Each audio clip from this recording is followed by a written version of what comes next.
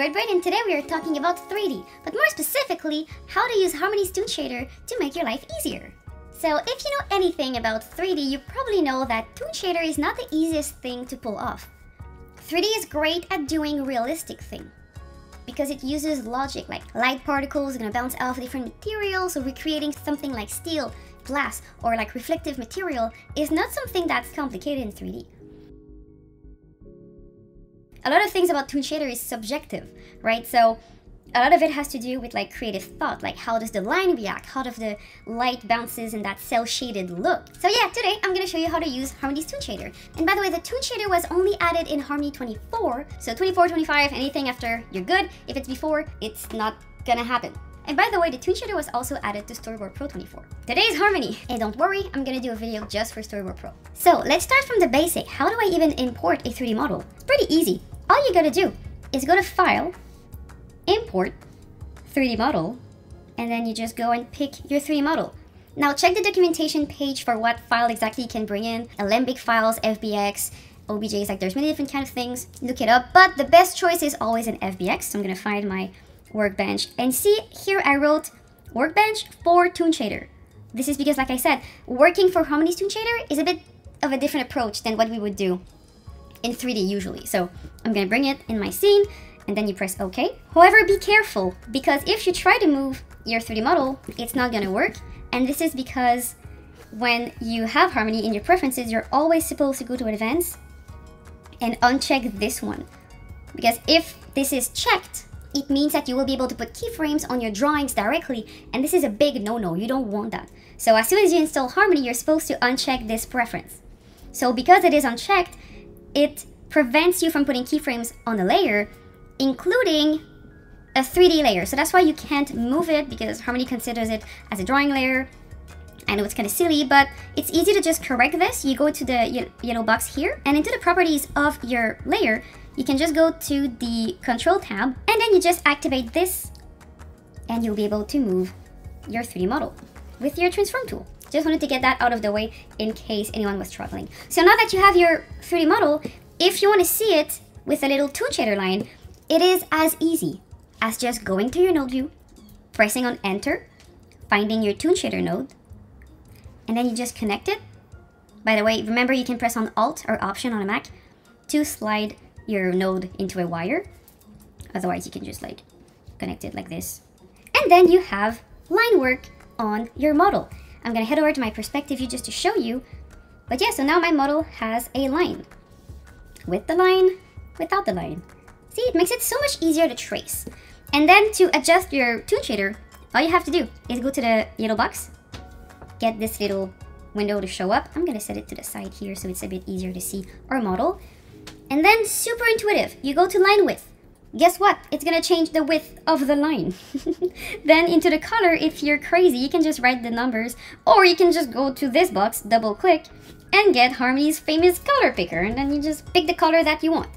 And then the truck factor, this is if you have like a camera movement in your scene, it will change if the line gets thicker or not according to the camera. And then the shading posterized level, what is this? This is just to give a more cel shaded look to your model. Now, it's not gonna work super well on this specific model just because of how square it is. Like there's not much to go from in terms of cel shading because it's already pretty flat.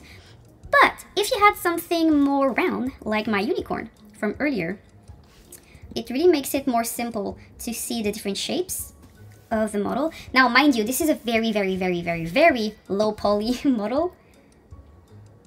And it's not perfect. It's, I just slapped that very fast just to be able to play with my um, horse model just to see how it would work in drawings and stuff.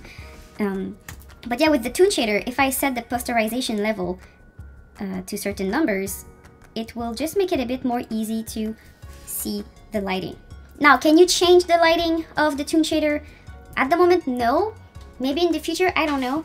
For now, it just uses a default lighting um, that just, you know, lights up your character. You can't really decide where the light goes. Maybe in the future, that would be a nice feature, but not for now. Last but not least, I'm gonna show you how to make your 3D model work better with Harmony's Toon Shader. Harmony's Toon Shader has two rules, pretty easy.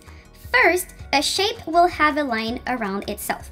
So any shape that is in Harmony will have a line around its silhouette pretty easy. So that's why like the horn has its little line and here the head also has its line. The second rule is that if an object collides with another object, it will create a line, which is why if I take this leg and I move it around, when it gets in contact with another part of the body, it creates a line. However, it only does so if the two pieces are not combined. Now, combined is a thing in 3D. I don't know how it's called in Blender. It's probably called something else because no one can agree on anything in this world. But by combined, what I mean is that in a 3D software, typically, as a 3D artist, I am required to combine as much objects as I can so that when I go to my outliner, I don't have like 5,000 little poly surfaces for everything in my model. So for example, if I was to use this bench in an actual 3D scene or setup or whatever, typically it would have been asked of me to take anything that is not gonna move and just combine it.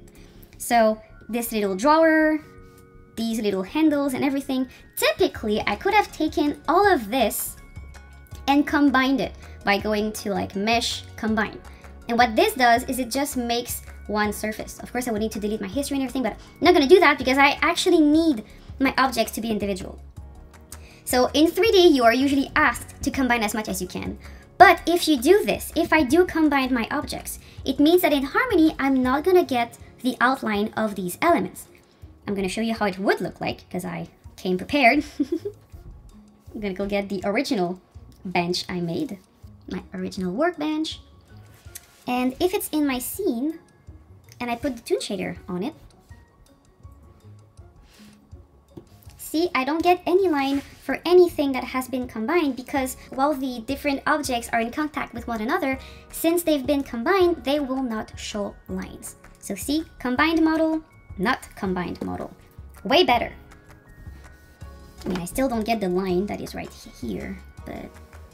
You know, like I said, easy to use. Not perfect, but definitely easy to use. So yeah, that's all that you need to know. And now that you know that it's as easy as combining or not combining objects, so now as an artist who does 3D for Harmony, you know how to make it.